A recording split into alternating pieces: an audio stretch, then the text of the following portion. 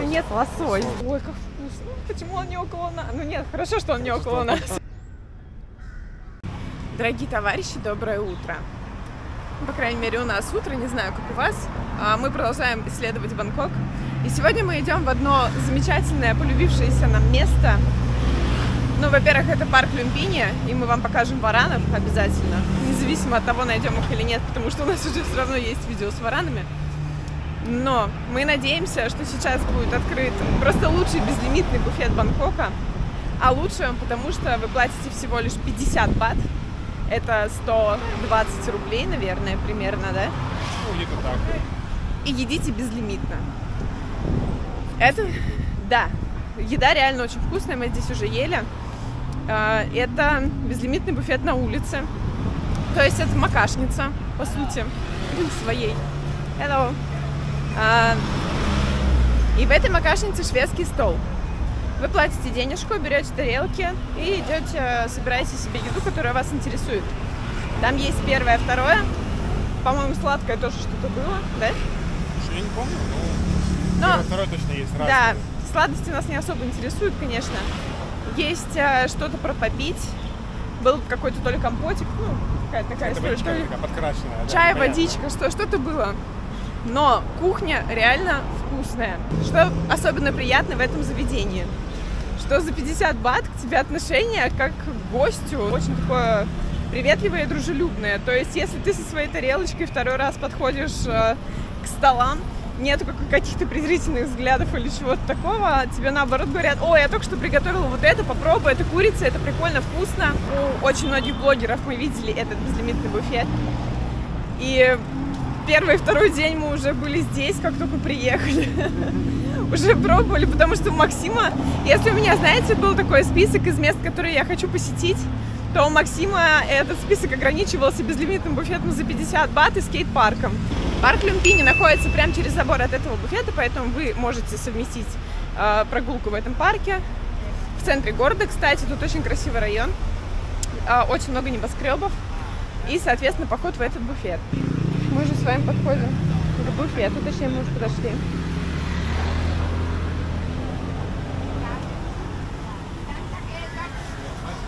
Hello. А, как он классный. Есть и рыба, и какое-то мясо, и лапша. Тоже рыба. Что еще курочка где-нибудь есть. Пахнет очень круто.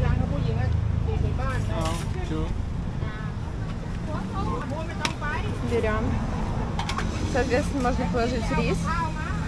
И к рису уже всего-всего вкусного себе накладывать. Да, всего по чуть-чуть, пожалуйста. Сразу есть остренькая заправка. Как видите, никто не скупится. Все набирают побольше. Вот я тоже хочу вот эту рыбу. Я в прошлый раз пробовала, она была божественна. Так, Еще? нет, пока хватит. Росточки. Да, росточки мне всегда положат. Хотя ладно, росточки дома поем. А там вон какая-то еще штука темно-зеленая. Мне вот ее хочется. Здорово.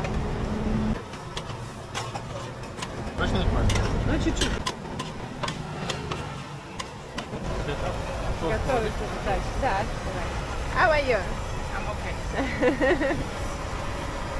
Буду готовить уже следующую порцию. Когда кончается, тут, кстати, он готовит не одно и то же, он новое блюдо добавляет периодически. Когда так будешь пробовать? Давай. Подсказывай, что попробовать, что взять. Так, ну первое. Первое? Да, Ладно, да. давай сядем пока. Can we sit? Thank you.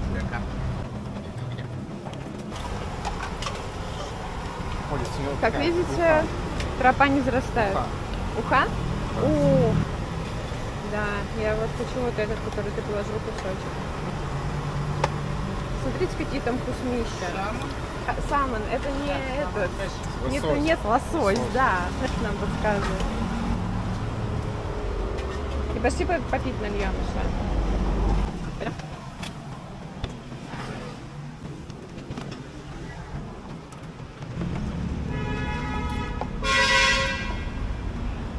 Куча байков. Обратите внимание, кушают местные.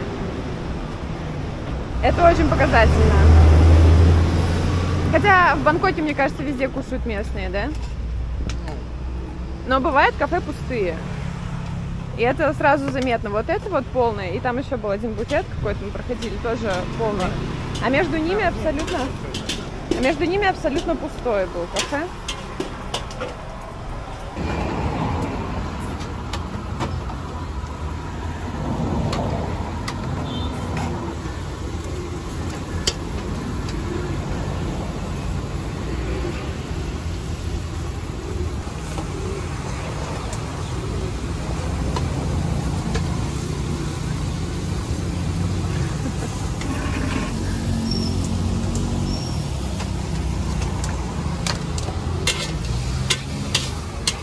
Наши соседи уже за вторыми порциями сбегали. Как тебе? Уже вкусно? Good. Good, yeah. М. Это, наверное, самая остренькая уха, которую я пробовала. И у бульона есть рыбный вкус, то есть он не водянистый.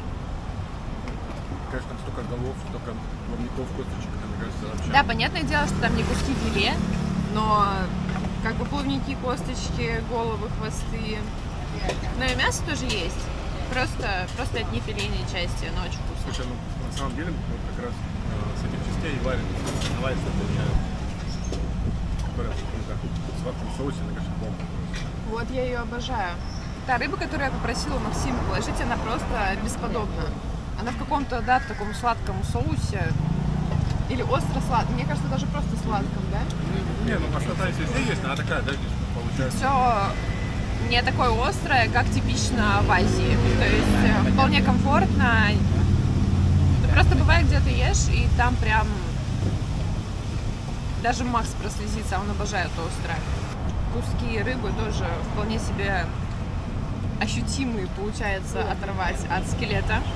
Поэтому полноценная уха с красной рыбкой. Что у нас тут есть в тарелке? У нас есть маленькие какие-то анчоусы в кляре. И учитывая мое равнодушие к рыбе, они вкусные.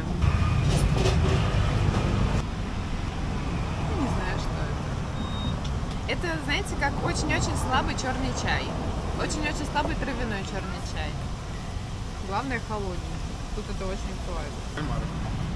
Это не кальмары. Вот это? Не хрустят, нет. Это какие-то овощи. Еще новые соседи.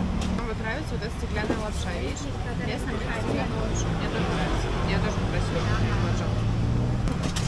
Итак, рыба в соусе. Она приготовлена с, со стрижковой фасолью. Ну, это правда, это бесподобно.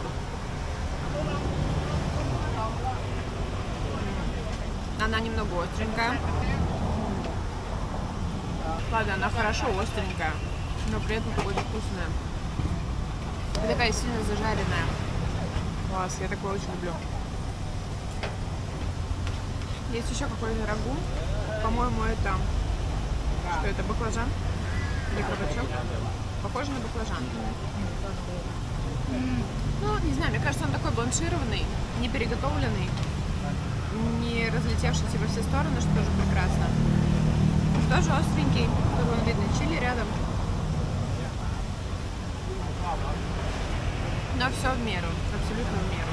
А стеклянная лапша с чем, ты понял? Ну, такого с сырым соусом и со шпинатом. Со шпинатом? Я там какое-то мясо нашла. Может, фарш. Я даже не совсем поняла, в каком именно блюде. Возможно, кстати, в овощах. Который, я думаю, что это просто Опять у меня попался вот тоже здоровенный какой-то кусок мяса. И это не похоже на курицу, это больше похоже, наверное, на свинину. И по вкусу это вкусная свинина. А вот Максим и даже соседние девчонки сходили, обновили себе супы и взяли уже куриные супы. Мак взял просто бульон. Все уже едят по второму кругу, даже те, кто пришли после нас, а я все еще не, не доела свою первую тарелку. Это не похоже. Я разговаривала. А вот так вот выглядит куриный супчик, который как раз только что сварили. И его уже можно набирать. 50 бат свой, 50. Счастье. Ну, смотрите, людей тоже. Все битком. И не все приходят и приходят. Я думаю, это о многом говорит.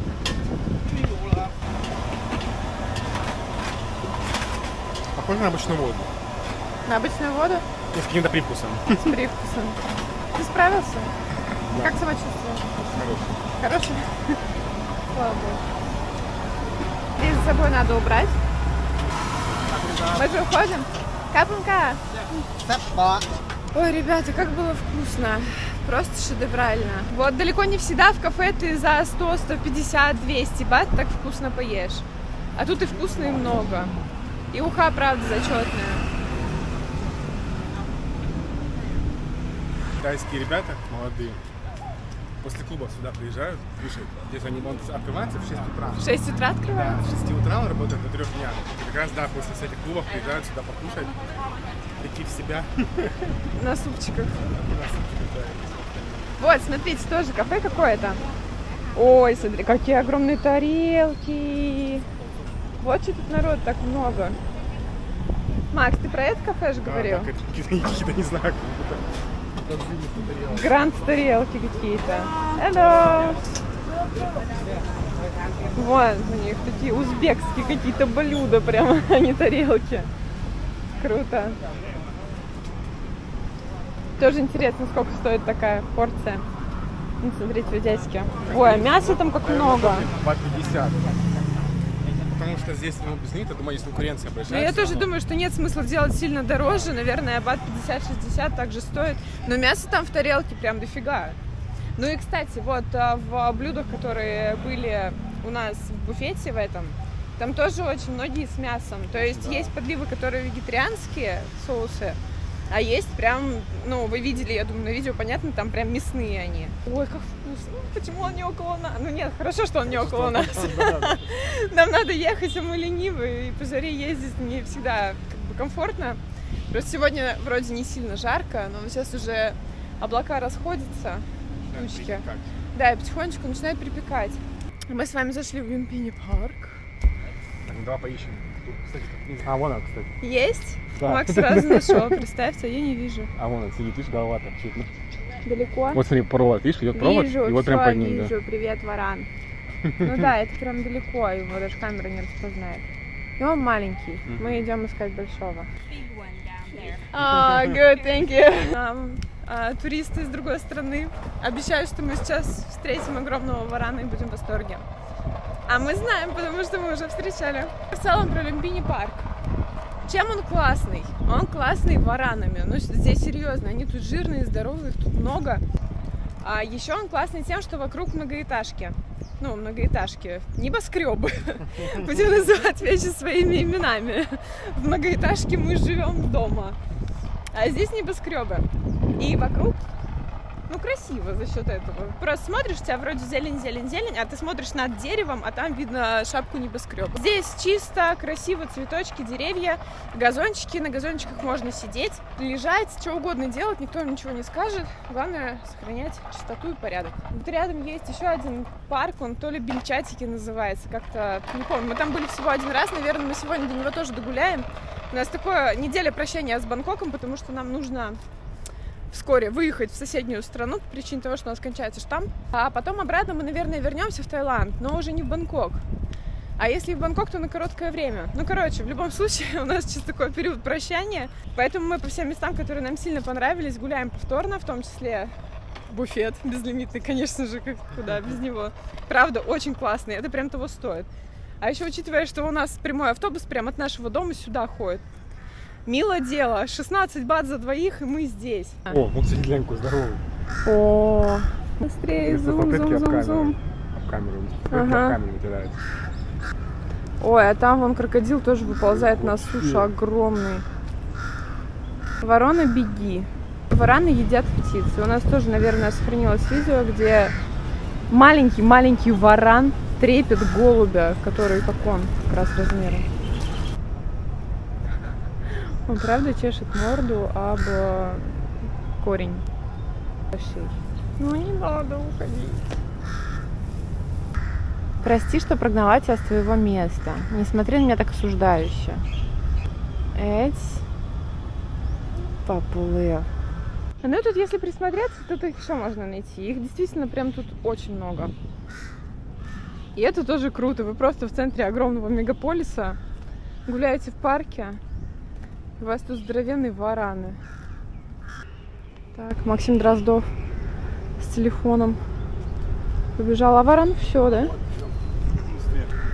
Быстрее. Жирный какой, как поезд пассажирный, вы посмотрите.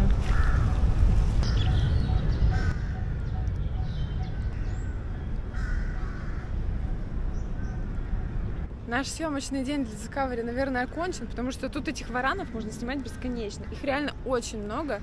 Есть очень большие. Ну, и есть маленькие, конечно, но, естественно, прикольнее наблюдать за огромными. Вот. И если вы впервые в Люмпине, и вам не удалось встретить варана в первые 10 минут, ну это очень странно, конечно. Просто присмотритесь повнимательнее. Бывает такое, что они около берега просто зависают, и их не видно. Но когда вы к ним подходите ближе, естественно, они уже начинают двигаться, сваливать от вас. Очень классные зверюги, красивые. Ну, чем больше они, тем они, конечно, меньше боятся. Меньше боятся? Mm-hmm. Ну да, да, большие они такие. Ну, просто очень осторожно. Естественно, они к вам близко там не подойдут особо.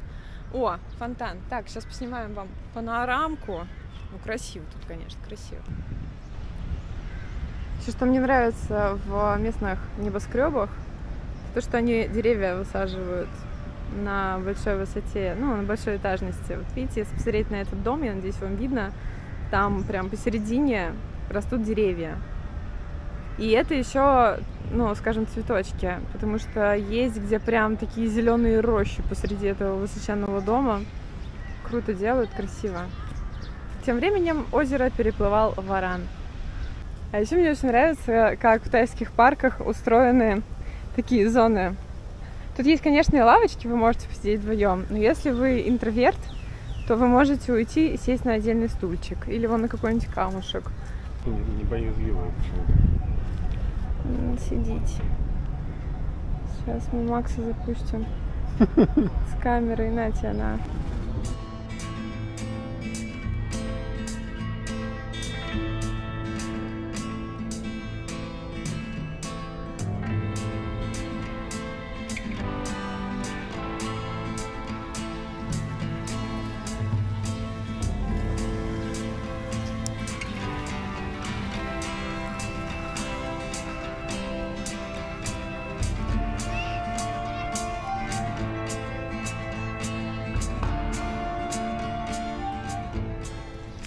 Так, ну что, у нас сегодня супер вараний контент был, просто. Я надеюсь, у Макса получилось это все эпично заснять, потому что там была драка двух огромных варанов. У них, видимо, какой брачный период. И они там сгромоздились втроем на одну самку. И двое здоровяков начали просто месиво какое. Круто! Тем временем мы выдвинулись с парка Люмпини в парк Бенчакити. Я посмотрела, как он называется. Макс утверждает, что это боевые петухи. Торговый центр Терминал 21. А, почему Терминал 21? Он выполнен, знаете, в стиле аэропорта.